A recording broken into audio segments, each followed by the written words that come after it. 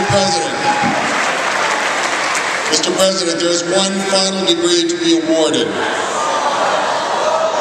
This degree recipient will receive an honorary Bachelor of Science degree in Character and Obedience. The last member of the class of 2010, Ironclad Tupper the First.